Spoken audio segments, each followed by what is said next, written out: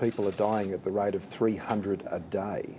And so I can certainly understand the high level of anxiety that would exist in Italy and, and in many countries across Europe, um, as, as is regularly conveyed to me.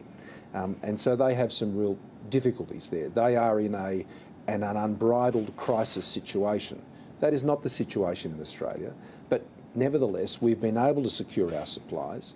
Let's speak to Bernd Lange now. He's an MEP for Germany's Social Democrats and chairs the European Parliament's Committee on Foreign Trade. Mr. Lange, thanks for speaking to DW today.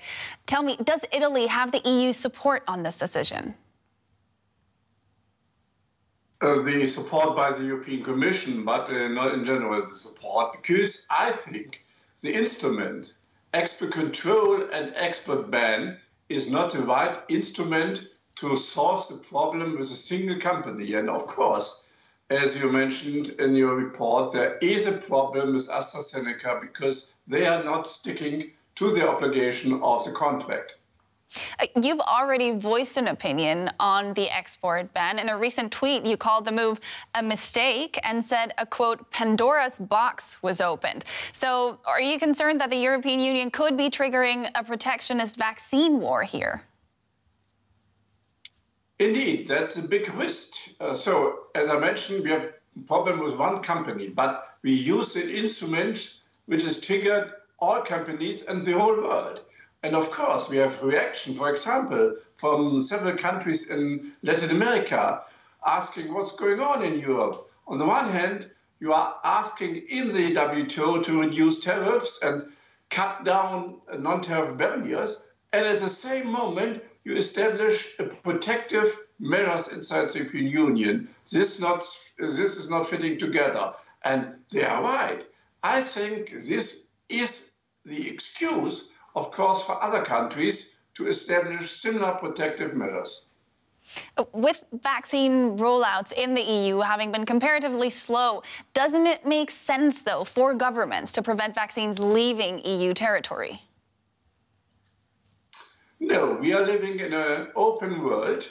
And of course, we have also some supply of vaccine coming from outside the European Union. And you can easily argue why should they supply for vaccine which is used inside the European Union. No, it's a global problem and we need a global solution and vaccine against corona should be a public good. And uh, it's totally not acceptable if we have a contract with a single company and they are not fulfilling the obligation, uh, regardless where the company is based and regardless to which nation this uh, vaccine should go. We have to stick to the principle if there's a contract concluded, then of course both partners have to stick to the obligation. What will you suggest governments do, though, to overcome these vaccine shortages? We need more production capacity. That's true. And perhaps this was also a fault in the vaccine strategy of the European Union. We invest in the research, in the uh, preparation of the production, but we didn't invest in the production capacity. And of course, it's not so easy to produce this modern kind of vaccine, and uh, we need more capacity. And uh, now the European Commission established a task force under the Industrial Commissi uh, Commissioner, Mr. Breton, to establish exactly this uh, procedure to uh, go for more production capacity. And I think we should really go for a little bit more pressure to the companies to allow other companies, partner companies, to use the patents and the technical know-how to establish more production capacity. All right, Bernd Lange of the European Parliament's International Trade Committee, thank you very much for your time.